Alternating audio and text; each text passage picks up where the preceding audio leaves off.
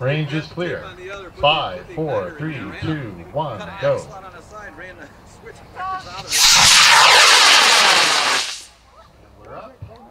and bowed it. Pushed it down and bowed it in the payload bay and taped the nose cone on. And we've got a chute. Got a Danny Dempsey's in a flew. It worked.